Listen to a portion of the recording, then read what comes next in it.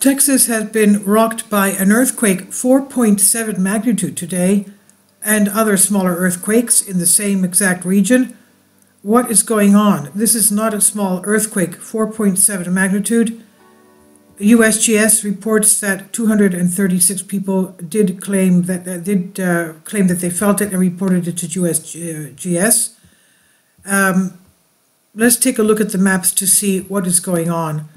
Uh, I hope this is not uh, induced seismicity. If it is, it's too big. Here we are at the map of uh, Texas. Basically, it's uh, about 100 miles uh, southeast of Lubbock, which has an airfield, a, base there. Uh, 4.7, as you can see. 8.7 kilometers depth, which is quite shallow. And we have an earthquake swarm there.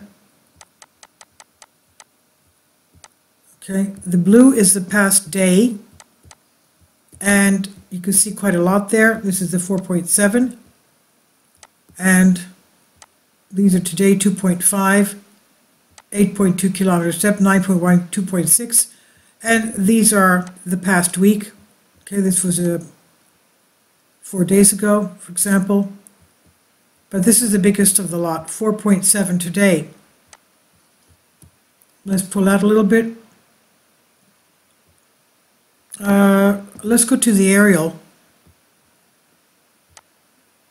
Okay, this is it right here. This is the shake frequency. The red is, of course, a fault line. This is it right here. The USGS stops it right there. And uh, this goes up to, look at this, these are fault lines. This goes up to, uh, this is Salt Lake City, Utah, Utah, and uh, Yellowstone. So here we are.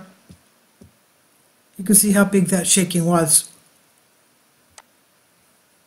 And it says here, in cases where elsewhere in the world there's evidence that some central, eastern, North American earthquakes have been triggered or caused by human activities that have altered the stress condition in Earth's crust sufficiently to induce faulting.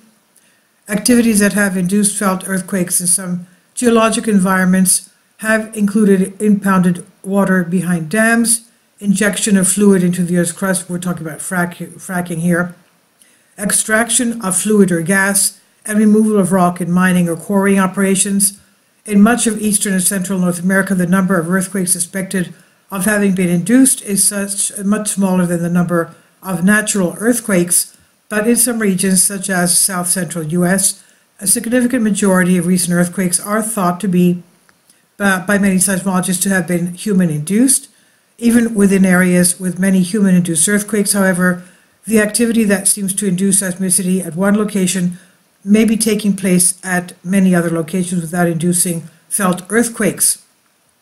So I hope that's not uh, induced by fracking. If it is, it's just too big. Okay, 236 people reported so far. And this is what our the uh, frequency shows. Okay. Oops, sorry. Let's put in the. Uh, okay, and this is um, near New Mexico, right there. Now, going back to the aerial, Kansas, Nebraska. Remember, I did uh, in the past talk about the uh, kimberlite volcanoes that Kansas has. They found at least 13. And the kimberlite volcanoes are, that's the Arkansas River, uh, diamond spewing volcanoes. And a lot of people there have felt their houses shaking and booms from underneath their houses. That's because they, they release gas. These underground volcanoes release gas. They're kimberlite volcanoes spewing diamonds. So um, going back again to the Great Lakes, this is a mantle plume under there that's been there for about a billion years. The Queen Fault, the Lake Superior was, at one point, Lake Superior was uh, very close to Wyoming. And that, of course, this uh, stretching of the continental plate is because there's magma underneath. And that's a horseshoe-shaped mantle plume with magma. And the western part goes down like this into Texas and then turns uh, west. And the eastern part goes down like this in the New Madrid seismic zone. Okay? We did have a 3.8 uh, around Niagara Falls, um, upstate New York last week. So this 4.7 to me is, God forbid if that's uh, the way of hydrofracking, uh, going, uh, making these earthquakes becoming more intense. I mean, that's not at all good because of the people living there, obviously. Now, going in, I don't know if there is any more fracking going on in Texas. If you live there, please let us know. Uh, but to me, this looks like communities there and farming. Okay, that, that seems to be farming. These circles of uh, the uh, sprinkler systems. And, okay, that there obviously is fracking. That's hydrofracking.